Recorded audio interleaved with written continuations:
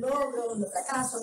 Y, y yo recordaba cómo hace nueve años la gente nos decía, ustedes están locos, son unos locos, idealistas y románticos, porque como esas ideas liberales en un país que solo ha estado expuesto al socialismo, a la preponderancia del Estado sobre la sociedad. Este, y bueno, nosotros planteamos todo lo contrario, el trabajo, el mérito, el esfuerzo, el fajarte para ganarte lo tuyo, eh, por supuesto un sistema de cooperación, porque, insisto aquí, si hay un sistema que en esencia es de cooperación y solidaridad, es el mercado. Y al, final esas son las ideas que funcionan. Y no decía, no vale, eso no va a subir cerro, eso jamás va a penetrar a la Venezuela profunda. ¿Saben qué? Precisamente allí con la gente que trabaja la tierra, con el trabajador del campo, con el emprendedor eh, informal, con la mamá que quiere que su hijo surja, es donde hemos encontrado la mayor resonancia y entendido que este país, nuestro país, quiere algo muy distinto.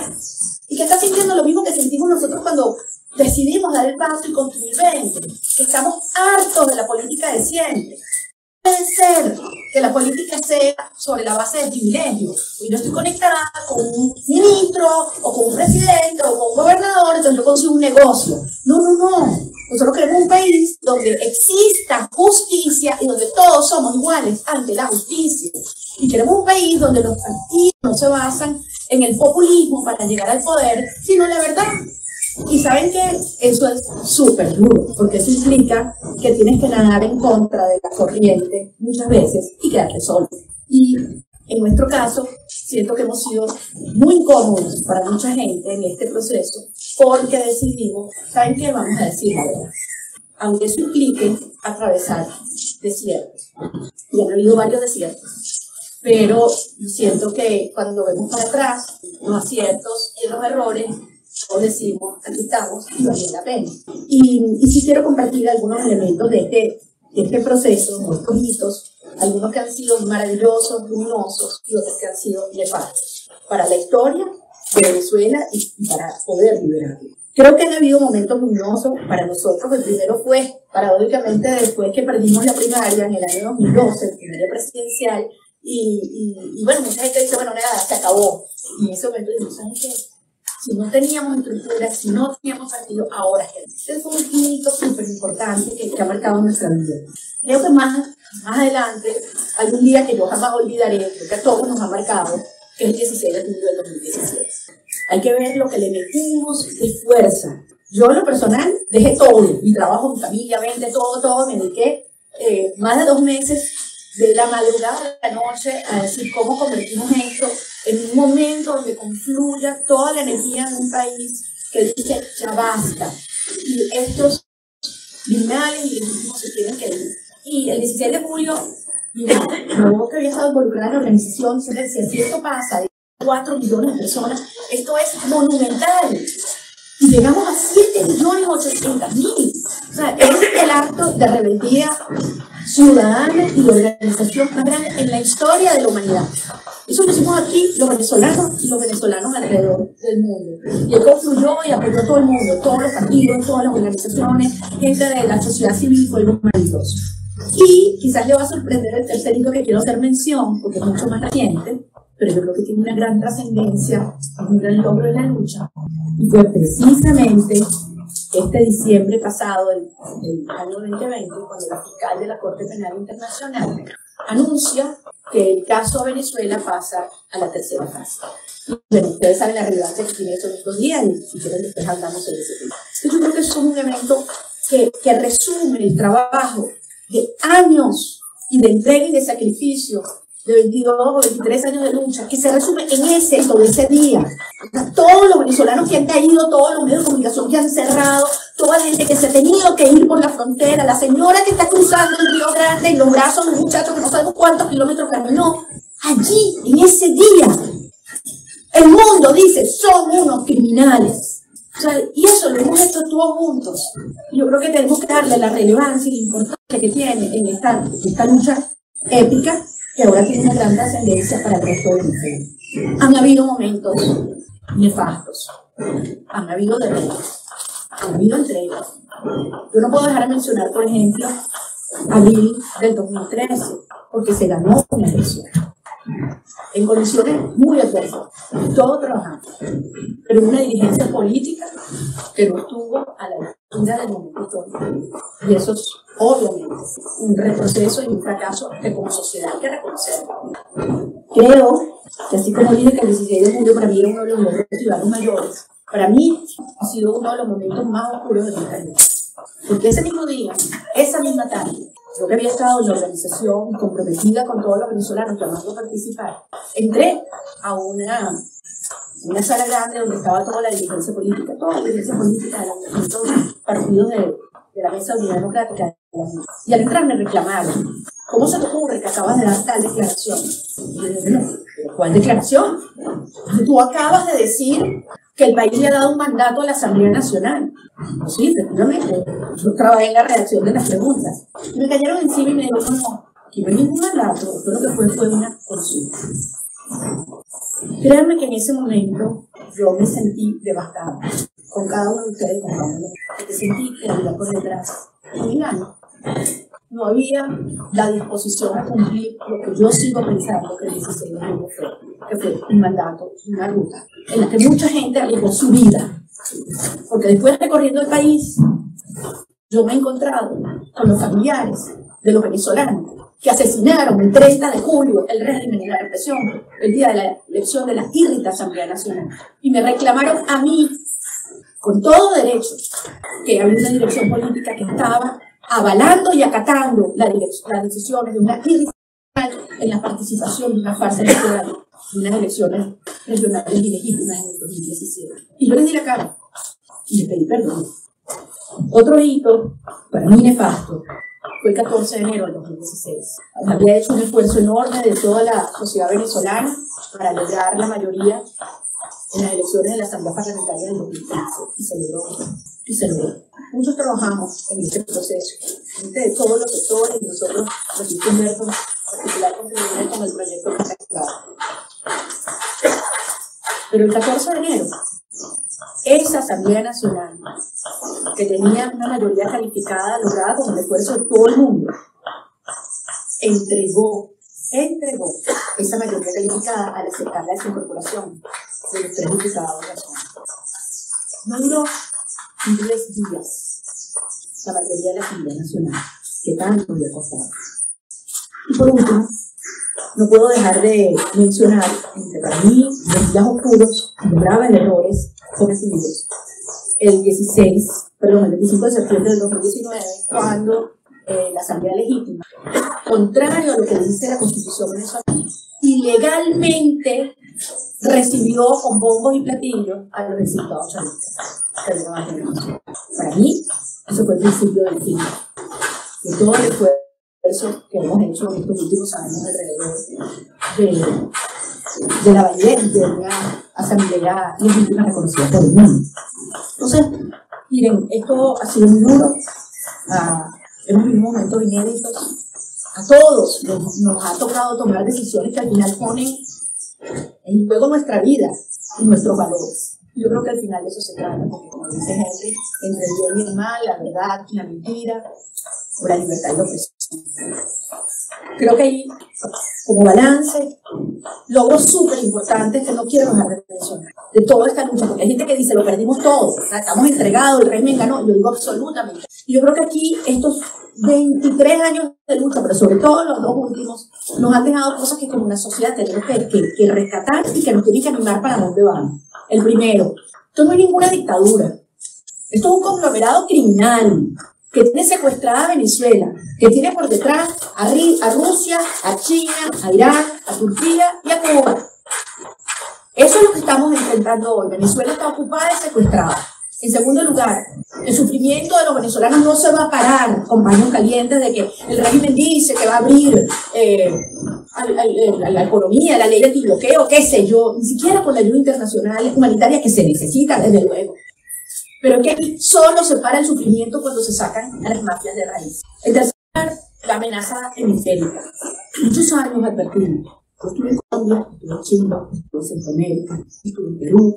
Y mucha gente nos decía, no vale. Sí, Venezuela está a miles de kilómetros Eso no nos va a pasar a nosotros. Igualito como decíamos nosotros, hace 20 años Venezuela no es Cuba.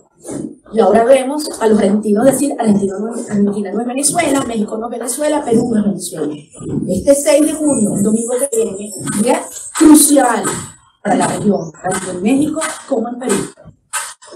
Y por supuesto, yo creo que uno de los logros fundamentales que no hemos intentado todo, porque los venezolanos no pueden decir que no hemos intentado todo, que no hemos dado todo, aquí ha habido 30 elecciones, aquí han habido 14 diálogos, porque hay gente que está viendo el, el balance de lo, de lo que funciona y no funciona sobre la base de los dos últimos años, no, no, esto tiene más de 20 años, donde ha habido innumerables iniciativas de restitución del orden constitucional por parte de nuestros militares institucionales que hoy están allí en calabozos, perseguidos y torturados. Entonces, ha quedado claro que no va a salir eh, un régimen que nos ha declarado la guerra, guerra híbrida, no convencional, por métodos convencionales. Y que un secuestrador, para obligarlo a negociar, hay que acercarlo, hay que rodearlo, y de eso se trata. Y, y por lo tanto, yo hoy quiero decirle a, a, todos aquellos que nos están escuchando, a los venezolanos que, que, cuenten con nosotros en esta lucha, aquí alrededor del mundo. Henry decía, no mundo, pero que a nosotros nos, nos da mucho orgullo, porque de eso se trata. O sea, hacer, hacer un partido político serio no es nada más convocar a la protesta, que es muy importante, o dar declaraciones, que es crucial. Hablar es hacer, fijar posición es hacer. Pero es el día a día. Lo que está haciendo Lorena Laya, allá en Chaguarama, en el caserío del Arbolito, que hace dos días montó un colegio ciudadano rural, donde no va nadie a hablar de nadie, donde no hay comunicación, donde no hay medios, donde no hay internet.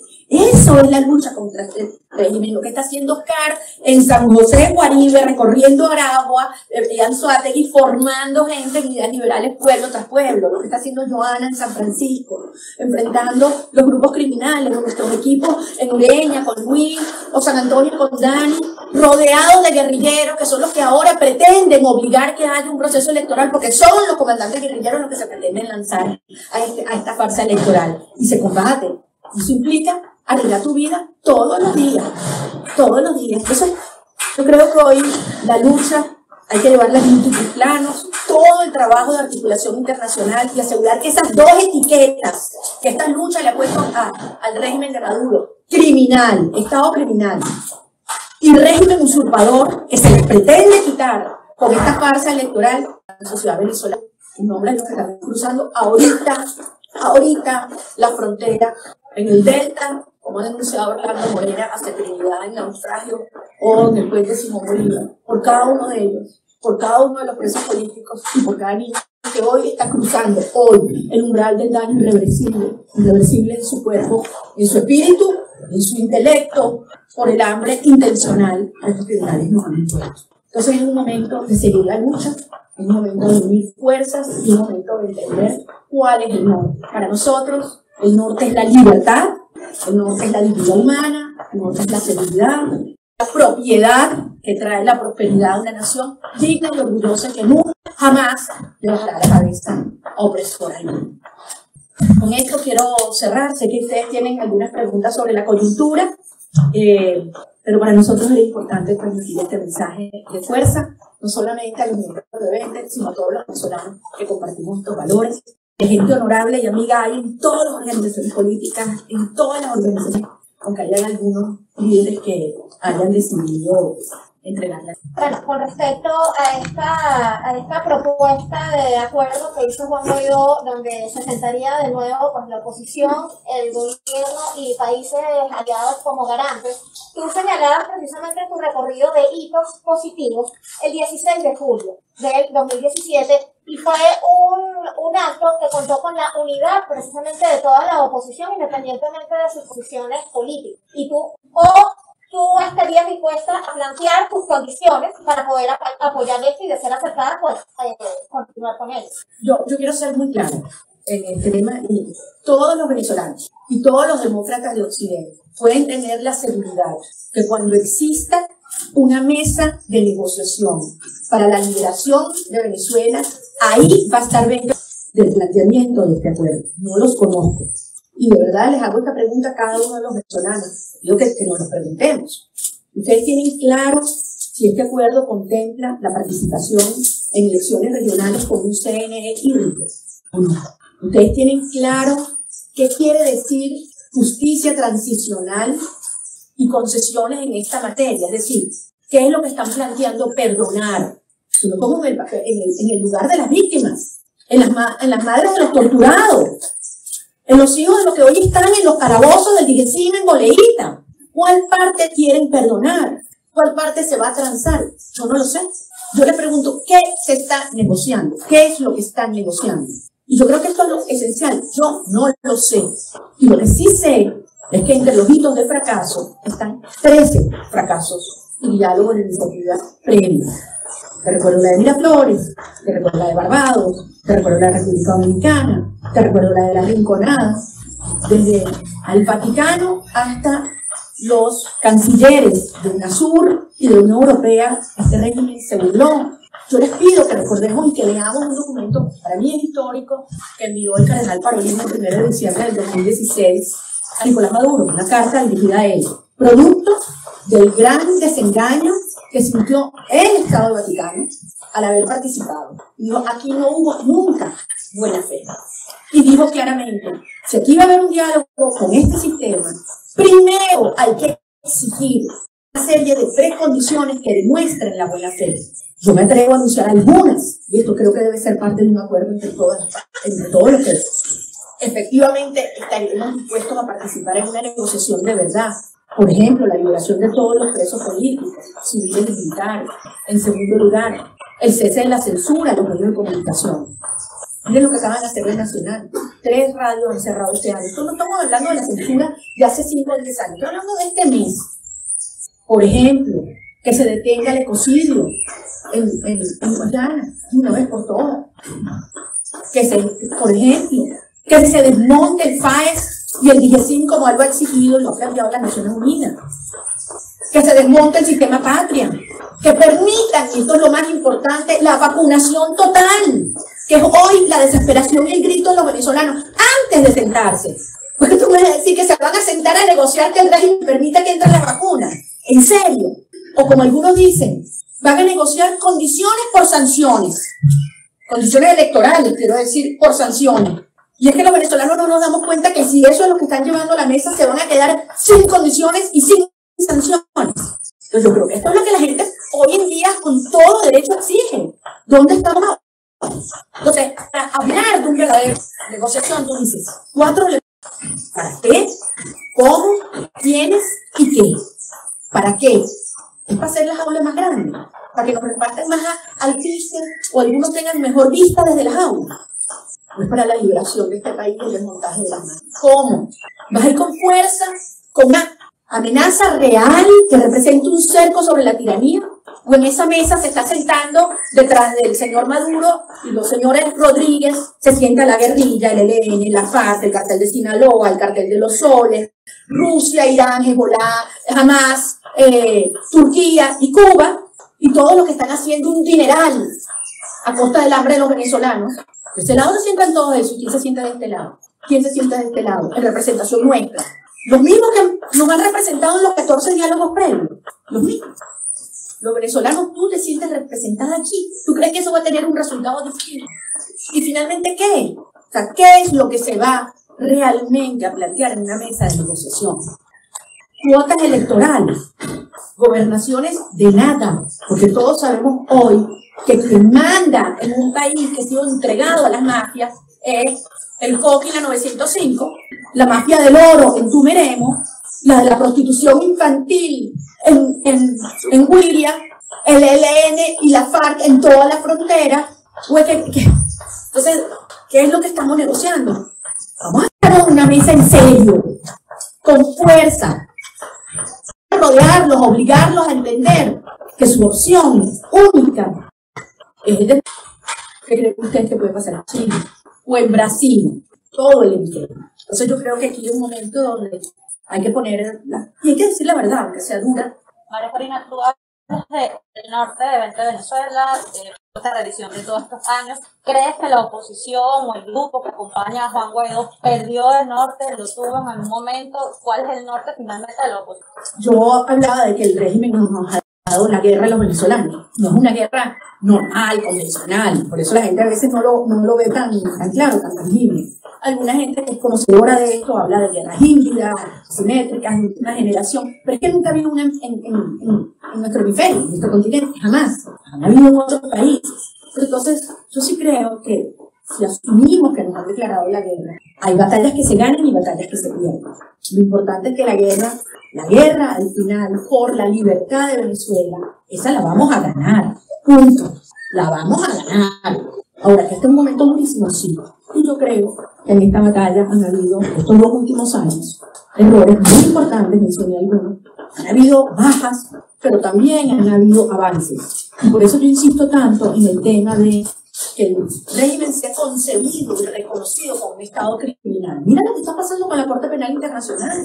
Por supuesto que están conscientes y nerviosísimos porque saben lo que significaría que la Corte efectivamente iniciara una investigación. Que no lo puede parar nadie, siempre. No lo puede parar el socio del régimen Alberto Fernández ni nadie que venga así, porque eso es una investigación que fue abierta de oficio por parte de la fiscalía. Y esto puede pasar en pocos días.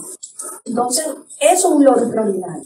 Ahora, hay quienes dicen, como aquí ya no hay fuerza, y lo han dicho algunas personas que están planteando este esquema del acuerdo, me parece realmente inconcebible. Dicen, bueno, como no hay fuerza, porque estamos solos, esa es la lógica, bueno, entonces hay que aceptar lo que nos den.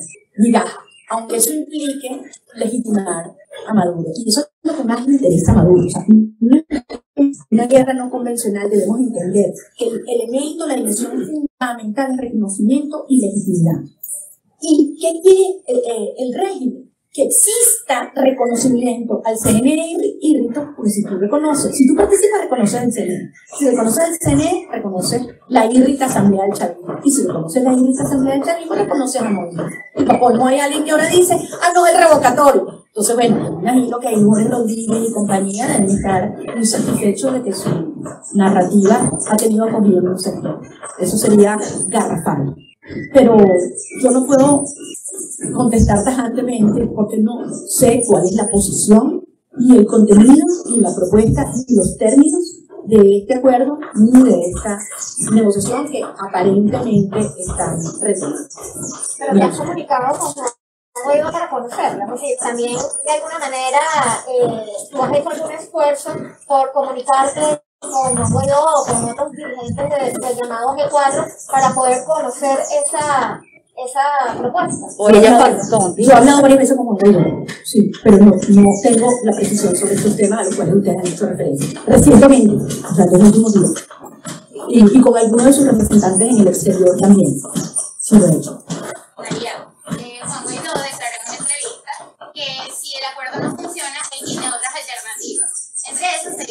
De calles, manifestaciones, eh, la presión internacional incluso el R2P. ¿Qué le dirías tú eh, a, a, las personas viendo que ya está cansado de que él repita siempre lo mismo y no tiene una opción o cuando vislumbra ir a elecciones regionales eh, siguiendo o sea, el camino de buscar condiciones que no, que no es posible que se las tengan? Bueno, voy a tratar de repetir un poco algunos de los planteamientos para darle contexto a, tu pregunta. Si tú partes de la base que esto es un conglomerado criminal, que tiene, digamos, una fachada ideológica, que es el Foro de Sao Paulo, del grupo de, de pueblo, que tiene por detrás un bloque de cinco países criminales que está llevando adelante una estrategia geopolítica que a nadie duda. Porque yo les recuerdo, cuando nosotros hablamos hace ya 20 años de los vínculos con los cubanos, me decían, no, exagerado. Yo recuerdo haber hablado hace 15 años de los vínculos de Hugo Chávez con los regímenes de Siria y con grupos extremos de terrorismo. Y la gente decía, tráeme las pruebas, demuéstramelo. Ni hablar cuando hablábamos de la presencia de militares rusos en nuestro país. Ahí están, cinco batallones cinco batallones de infantería reforzada que se están instalando con militares y equipamiento y armas rusas en la frontera, en Zulia, en Táchira, en Barinas, en Apure. Ahí están. Y no es precisamente para apoyar las capacidades de la Fuerza Armada Nacional, no. Ellos lo quieren replicar es lo mismo que están haciendo en Ucrania o han hecho en Ucrania en Siria, es darle poder de fuego militar a ejércitos irregulares que en el caso de Venezuela están integrados por milicia o guerrilleros. Y para, obviamente, atacar a Colombia como ya lo están haciendo. Porque ya el territorio venezolano, ahí es donde ellos ejercen el control territorial económico y social, estos grupos criminales. Entonces, el punto es, si tú estás claro en eso, si ya han habido 30 elecciones y 14 diálogos, ¿qué más hay que hacer? O sea, el, el argumento que yo he escuchado algunos decir, al diálogo para demostrar que ellos no, no tienen buena fe a un nuevo diálogo. Va, la primera, la segunda, la tercera, van 13. El régimen necesita tiempo para que este país pase hambre, para que la gente se vaya, para que la gente se entregue, se quiebre y para desestabilizar Colombia. No ven. Entonces yo sí creo, y Henry lo decía, de que aunque tengamos diferencias en ideas, en nuestras propuestas al país, en posiciones que hemos tenido en el pasado, oye, aquí hay un objetivo superior, que es liberar este país y enfrentarnos juntos y duros a estos criminales, con fuerza, porque la fuerza se construye. Ah, que en este momento hemos tenido retrocesos y hemos perdido aliados. Claro que hemos perdido aliados, precisamente por las contradicciones que se plantean. Porque por una parte decía, vamos a escalar una estrategia de fuerza y por la parte de atrás te estaba reuniendo con el régimen de espalda al país. Y esos aliados internacionales, porque lo dieron a mí, dos presidentes de este hemisferio, se enteraron por Twitter, como me enteré yo también, porque tenían siete meses en eso. Entonces, ¿cuál es la clave? Hay que generar confianza, confianza dentro y confianza afuera. ¿Cuándo generas tu confianza? Cuando tú tienes palabra. Cuando tú tienes palabra. No un tema que afirmas un papel. No, tú tienes palabra. Y la gente sabe, mira, si este líder dice, por aquí no voy a ceder en estas cosas que son de principio, pues no vas a ceder. Solo así, solo así, podemos ir una mesa de verdad para la liberación de este país. Repito lo que te dije al principio, que los venezolanos todos tengan claro, que los aliados tengan claro que cuando esté planteada una mesa de negociación para la liberación de Venezuela, ahí vamos a estar nosotros. No lo Ahora, el país, el país no tiene un liderazgo claro entonces político, porque hay muchas visiones. Enrique Capriles dice una cosa, Juan Guaidó y un grupo dice otra, usted plantea otra situación, no acercarse a eso que se está planteando, no lo conoce. Entonces, el país está sin liderazgo, el país va a la deriva. Yo creo que es un país que tiene claro que hay distintas posiciones en el liderazgo, no solamente en el político, hay liderazgo, hay liderazgo eclesiástico, hay liderazgo comunitario, hay liderazgo eh, eh, gremial, de mucha naturaleza. Y, y, no me vengan como dicen algunos amigos, no son verdaderos encuestadores que, ah, que llamen a la calle a ver cuánta gente llega.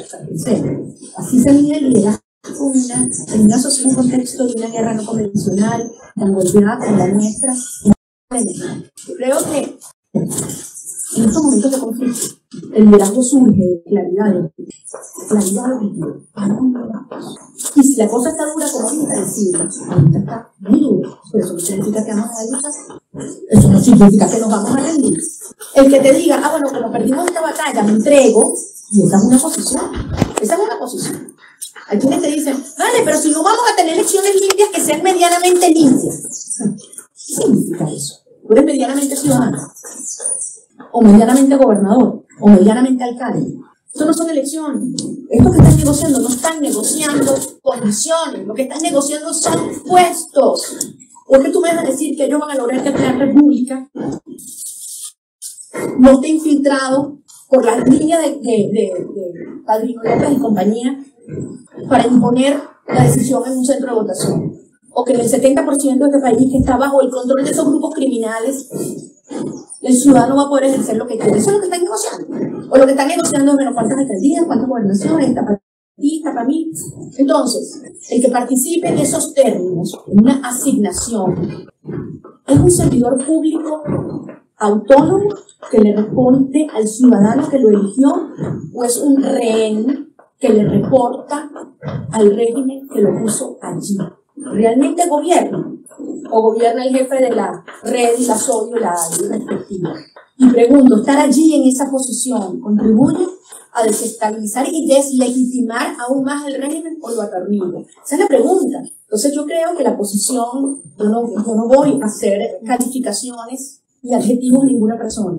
el día de hoy. Cada quien lo juzga con base en sus hechos y en su trayectoria. Y fundamentalmente, y lo que sí repito, y lo que yo creo que es fundamental, una persona puede decir, ¿sabes qué? Me cansé, no puedo más, me voy, me voy o necesito un tiempo para, para reenfocarme espiritualmente, reencontrar mi fuerza. Está bien, un ciudadano, eso se vale, eso puede pasar.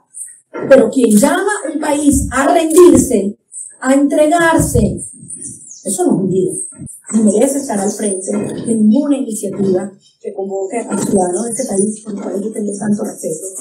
Hemos dado. ¿Qué, qué a los ciudadanos que desean participar en las próximas elecciones regionales sintiéndose en orfandad política tal vez, porque bueno, hay una ausencia de liderazgo notoria, que solamente algunas se expresan en redes sociales, pero en la calle pues hay una ausencia significativa. ¿Qué decirle a esos ciudadanos que en vista de las pocas alternativas que tienen van a participar en las próximas elecciones regionales? Bueno, yo creo que falta mucho tiempo.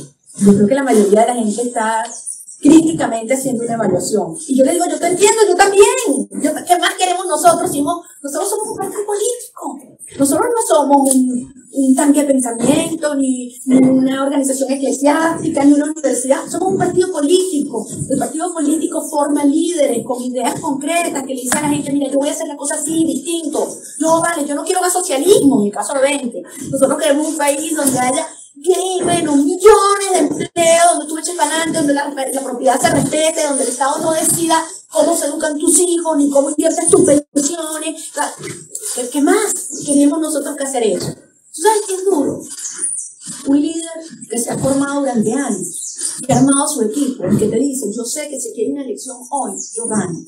Y yo voy a poder servir mi país, sea para concejal, para diputado, para gobernador. Y de repente te dice, ¿sabes qué? Pero Venezuela está por encima de mi inflación. Y si yo soy parte de esta farsa, le voy a hacer un gran daño al país. Porque sí, yo puedo llegar y decir, hoy caigo, pero yo estoy contribuyendo a que se postergue la salida de este. O sea, eso es duro. Nosotros lo estamos viendo aquí. Y hay gente que ha llamado a muchos nuestros líderes a decirle, ah, bueno, mira, como Venta decidió que no era parte de esto, bueno, mira, aquí te ponemos cargo, plata, campaña, etc. Es duro, es duro, porque todo el mundo tiene miedo, porque el régimen es brutalmente represivo y a todo está pasando trabajo. Pero el tema es cuáles son tus valores y qué es lo que estás dispuesto a, a privilegiar. Entonces a esos venezolanos les digo, yo te entiendo y yo también. Yo sueño con ese día. Y ese día va a llegar.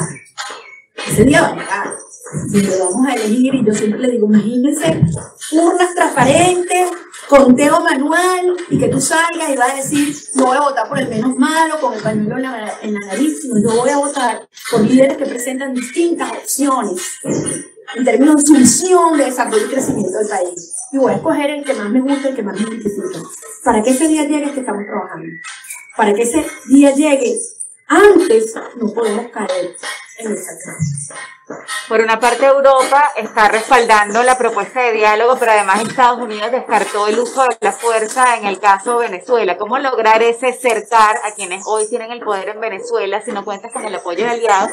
Y como usted lo decía, en el resto de la región hay problemas eh, concretos que cada quien internamente tiene que afrontar y eso significa que no va a venir a solucionar los problemas de Venezuela. Bueno, eh, esa es una muy buena pregunta y te agradezco que me oportunidad de responderla, porque cuando nosotros hemos hablado de una operación de paz y estabilización y la construcción de un cerco, hemos hablado efectivamente que, tiene que tener una amenaza real. El secuestrador tiene que decir, oye, si yo no cedo, efectivamente, yo voy a estar peor. Si el secuestrador dice de aquel lado no hay fuerza, ¿qué incentivo tiene para soltar a la víctima? Ninguno. Y sobre todo si además está saqueando lo que queda de nuestro país. Y con esos recursos ilegales está avanzando en su proyecto criminal, dime qué incentivo tiene para ceder.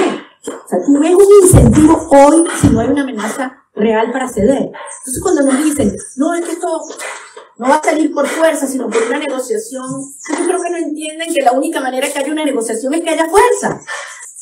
Ahora, ¿qué es fuerza? Los Marines en el Estado de favor. Estamos en el siglo XXI. Quienes dicen eso, y yo creo que eso es más bien una, una tesis, una narrativa que salió de, de, Cuba, lo que están tratando es de banalizar y de ridiculizar lo que nosotros hemos dicho. O sea, estamos en el siglo XXI. ¿Dónde, ¿Dónde se dan estas luchas? ¿Cómo se construye el cerco? Yo te pongo un ejemplo. En el plano de la judicialización de lo que ocurre en Venezuela, de convertirlo en tribunales. Oye, lo que está pasando con la CPI, eso es cerco. Lo que hicieron con Alex Saab, eso es cerco. Los indictments que se han hecho públicos, eso es cerco. Las sanciones, eso es cerco. Si quieren hablamos ahorita de las sanciones, porque yo creo que son un tema que también lo trata de manipular. Eh, en el plano financiero, cerrarle el acceso al financiamiento criminal, en el plano de la represión, un embargo de armas, un embargo de armas a este régimen, de verdad, para que los cubanos y los chinos no puedan seguir mandando armas a Venezuela para la represión de la gente. En el plano del cerco de las comunicaciones, oye, combatir la censura de Cotel. Todos ustedes, ustedes saben lo que significa, cuánta gente le llega el mensaje de ¿Qué porcentaje de la población de, Venezuela no tiene acceso a un medio de comunicación hoy? Para mí eso es una construcción del cerco y asfixiarlo. Entonces yo sí creo que hay mucha gente consciente de que hacia allá hay que ir. Creo que hay muchas cosas que se han hecho, la operación antinarcóticos y otras. Lo que, lo que siento que falta es la articulación con las fuerzas internas y creo que donde estamos peor es en la narrativa porque eso es un área en el cual los cubanos saben mucho, los comunistas saben mucho, el régimen sabe mucho, distorsiones y desgraciadamente las contradicciones que tú hacías referencia en las posiciones de quienes estamos luchando, pues debilita y confunde a un sector de la población. Entonces yo sí creo que tenemos fuerza, nos falta construir la confianza con esos interlocutores y creo que hay que construir una dirección política que no se salga de la ruta, y por eso la gente tenga confianza en él. Y justamente tú referías que, eh, disculpa, eh, que es una debilidad para la oposición el mostrarse dividida ante la gente.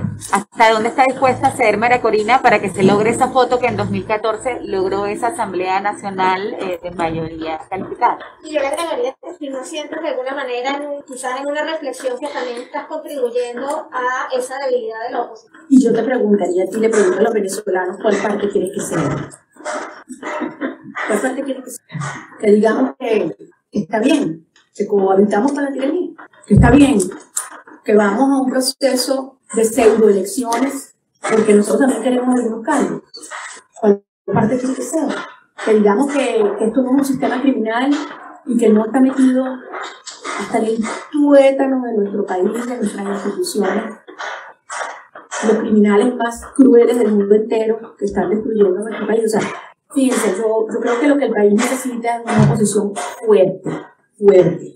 Creo que hay algunos actores que en los últimos eventos han demostrado que nunca fueron oposición y estaban en estos lugares de toma de decisiones, es decir, se enteraban en tiempo real sobre las decisiones estratégicas que ponían en riesgo tu vida, no solo la mía, y en tiempo real se enteraban. ¿Qué ocurre en un contexto de guerra cuando eso pasa? ¿Crees que tienes algún chance de ganar? Si tu, si tu comando, si tu Estado Mayor tiene elementos que están claramente alineados con la tiranía. Y, yo no tengo que decir no. Ustedes saben lo que pasó el 5 de enero y el país ya tiene bastante claro quiénes son. Entonces yo sí creo este es un momento.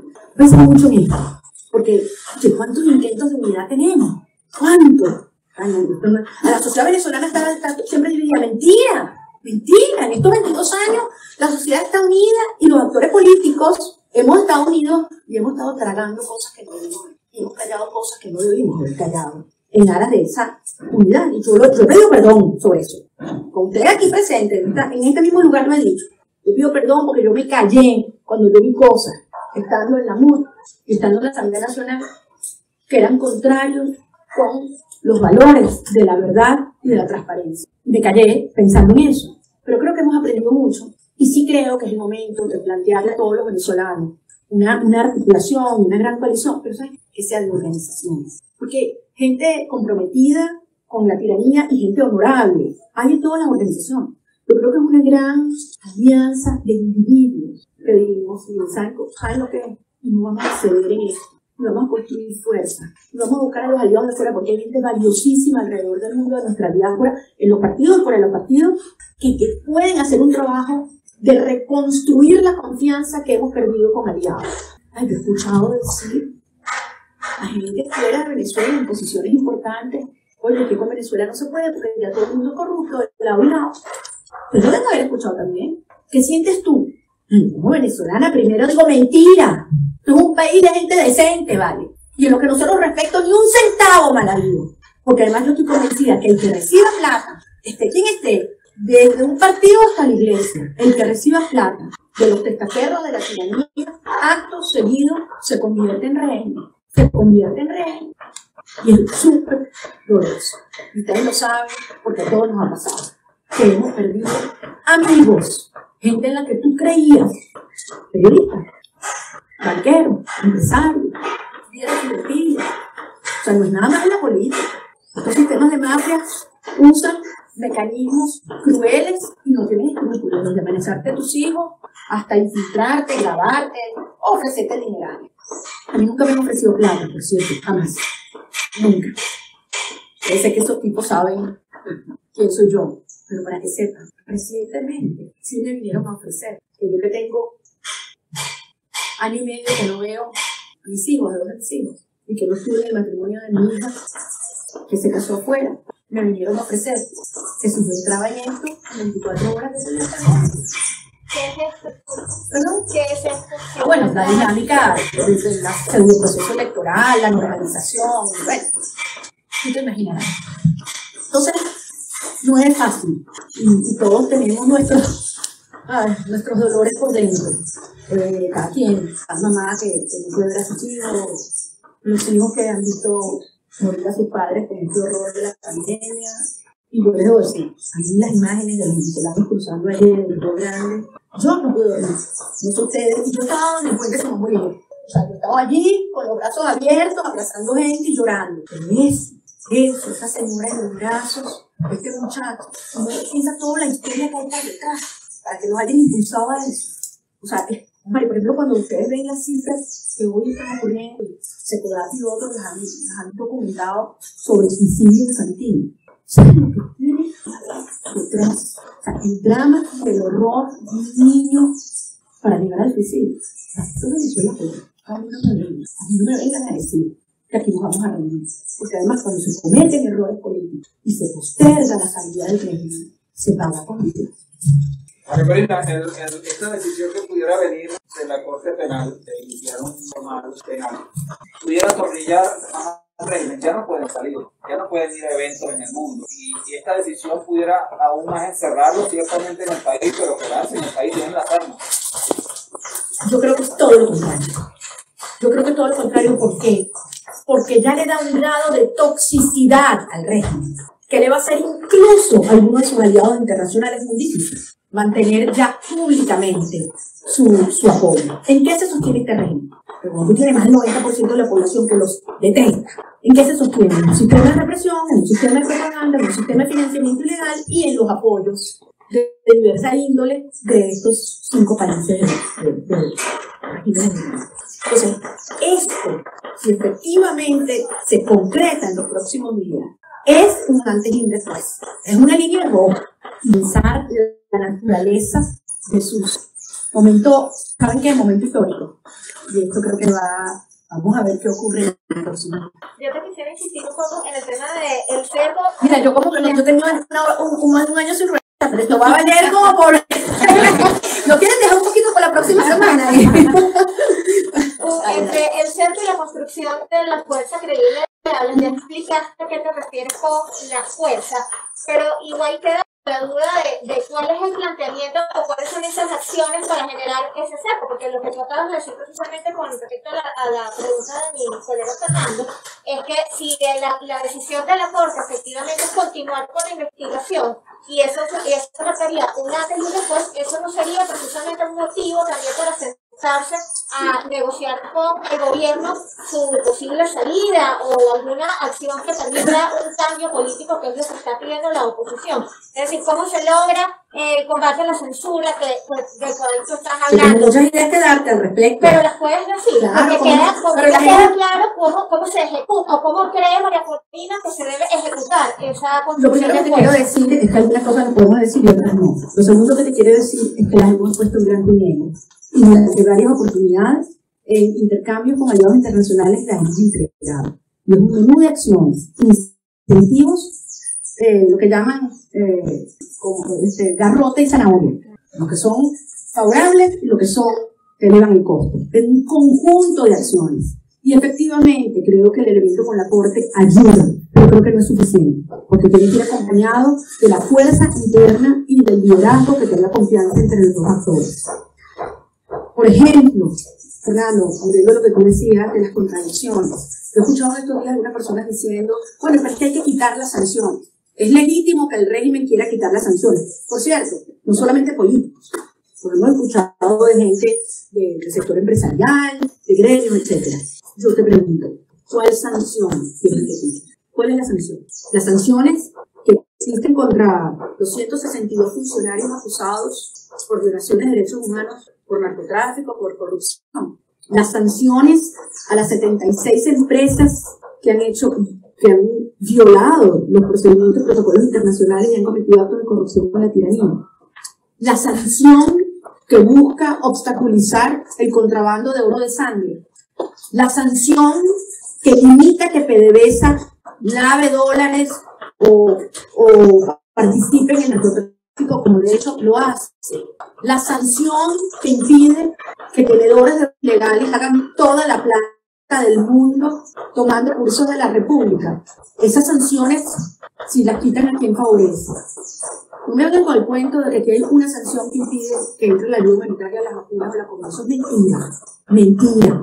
De hecho, las sanciones económicas que crearon el cerco financiero al régimen fue el que obligó que el régimen tuviera que desmontar el, control de cambios. Y por eso pasamos de un 2018 con una escasez de- en algunos rubros de más del 70%, rubros básicos de alimentos, de medicina y de leche y, de, lo elemental en la cesta alimentaria, a que se empezaran a importar de afuera por parte de los privados. Entonces, eso de hablar en nombre de la gente y del sufrimiento de la gente y del hambre, para quitar unas sanciones que lo que va a lograr es darle un dineral a una gente que está afuera haciendo negocio, haciendo lobby en varios países del mundo, también eso es criminal. Entonces, yo sí creo que eso es parte de lo que eh, hay que aclarar, hay que, hay, que, hay que definir, para que a la hora de sentarte, tú vienes fuerte, con una sola agenda y realmente generas los incentivos para que del otro lado no tenga más remedio que ceder. Si tú vas de una posición de debilidad, como ocurrió en el pasado, los mismos actores en el mismo lugar y con los mismos mediadores, ¿tú crees que el resultado va a ser distinto? Yo creo que ni el país ni nosotros eso lo, lo creemos y, y obviamente no creo que sea conveniente para la liberación del país. He abusado de todos ustedes, les agradezco en nombre de 20 estar aquí. Mil bendiciones para todos los venezolanos y la